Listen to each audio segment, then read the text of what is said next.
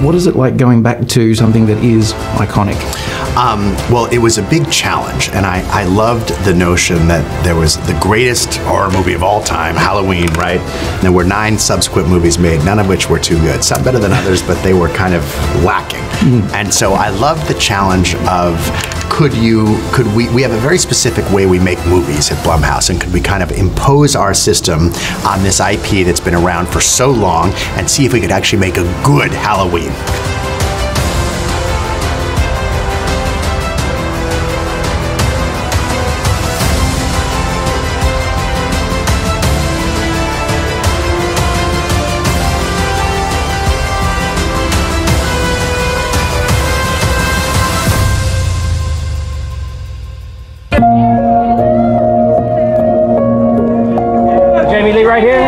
Queen of Screams, this is a moment 44 years in the making. with a big farewell party. And of course, when I die, it will say, like it did with my mother, psycho actress dies. It'll say, Halloween actress dies. I'm in full acceptance and pride of that. Forever is that she never gave up.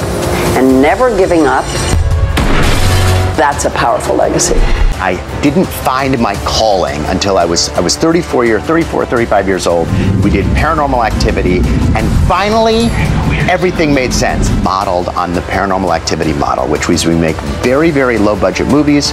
We give the directors an unusual amount of creative control for by Hollywood standards. and turning them into blockbusters. Currently, the trilogy has grossed more than $470 million worldwide and counting. David Gordon Green is the creative force behind the Halloween trilogy. If you accept the opportunity of creative freedom, you have to surround yourself with with collaborators that you trust. Jamie is she's become a great part of the collaborative creative team. They first brought Curtis and Halloween back in 2018, picking up right after the events of the 1978 original, but not without the blessing of the film's creator, John Carpenter. What did the success of that 2018 film tell you about the secret sauce that Blumhouse seems to have? It's blood, baby. Halloween Havoc, the movie franchise that stabbed itself to death. Yeah, let's cover some things here with the Halloween, the new trilogy. That's all I'm covering. is This new trilogy by Blumhouse, uh, by Pump House, by Bumhouse. Uh, you know, I want to talk with, about Halloween 2018. They really did it so well with two, 2018 Halloween. I was so happy. So everybody was excited. It banked a lot of money because the film was worth it. The film was worth watching.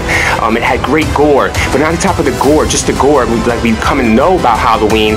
Uh, a lot of the story too was okay. There's some parts in that were shit, but other than that, and we had a good Laurie Strode as well, and a great Michael Myers, a new Michael Myers, and The Mask. So a lot of new stuff, and they should have built on that. But let's cover Halloween Kills. They go to Halloween Kills, and it's just about kills. That's right.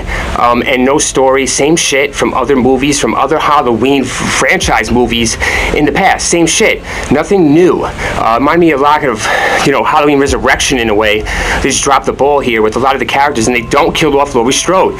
They kill off her daughter instead. Um, that is a big mistake. They should have killed Laurie off to have us tune in for Halloween Ends and do something different with Ends. They didn't. They go into Ends thinking they're do- doing something different, and they just fuck it all up with a stupid story. Having Myers, someone do his dirty work for no reason, and it, like fill up his rage bar like in a video game until he's able to attack and kill finally. And even at that, he's not able to do it at all through the film. So you have a Michael Myers in Halloween Ends that doesn't kill. You come from kills to this, to ends, where it all ends with his killing. Uh, it's supposed to end with Laurie Strode. It doesn't. It ends with Michael Myers being killed by Laurie. Uh, wow, I'm just so out of breath because this is fucking a disgrace. Uh, and, and, you know, this is where it killed the franchise, stabbed itself to death because you could have killed, should have killed Laurie, had Michael win, and that's what everyone wanted in the audience. Don't tell me any different. And if you can, tell leave a comment down below. The real review would like to know your viewpoint on this matter of this trilogy by Bumhouse.